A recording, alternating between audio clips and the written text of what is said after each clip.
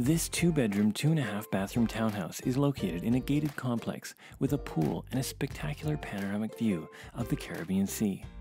This unit features cathedral ceilings on the first floor, an open plan living on the ground level, with the living and dining areas flowing into the kitchen and laundry. The kitchen has hardwood cabinets, modern plumbing fixtures, and granite countertops. Both bedrooms are on the upper level and have ensuite bathrooms and walk in closets. This home is just five minutes from amenities for comfortable living.